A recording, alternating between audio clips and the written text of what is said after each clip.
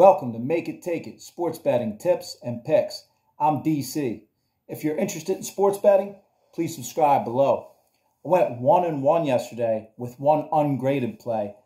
Bets got refunded for the rainout in the Reds game, and they were on their way to a under uh, two and over as well too, because they had two runners on the seventh inning at a seven nothing game. So, but that one gets refunded one in one day to bring me to 24 and 10 for the season. If you want to review my video from yesterday, I'll link it in the description below.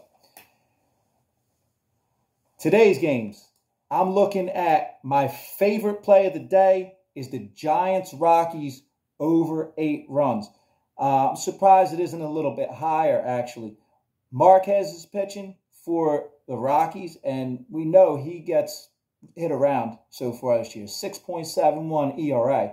Now he's going against uh, Rodon for San Francisco, who's pitched decent. He has a lower whip and everything, except the Rockies are the number one team in the league, OPS, against left handed pitching. So that kind of balances it out, having the, the better pitching matchup fortune with the Rockies hit lefties so well. So I'm going to go over the Rockies Giants game.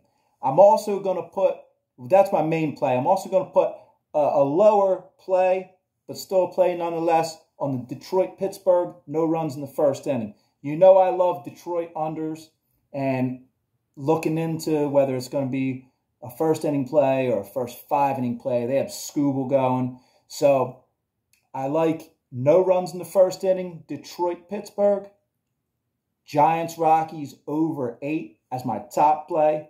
Those are my plays for today. Thank you for watching. Good luck.